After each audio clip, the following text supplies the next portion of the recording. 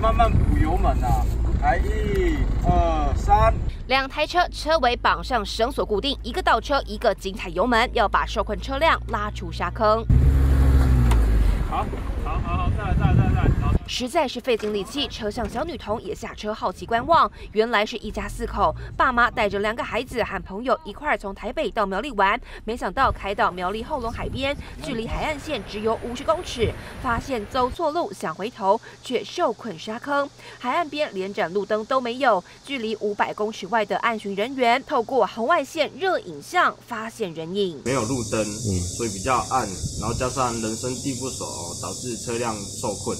驾驶在车旁绕来绕去，原来是车轮卡进沙坑，动弹不得。暗巡队员立刻出动，用绳索将车尾固定，车辆动力脱曳，幸好成功脱困，也成了一家四口的出游惊魂记。这彭志明、徐文、彭鑫苗栗报道。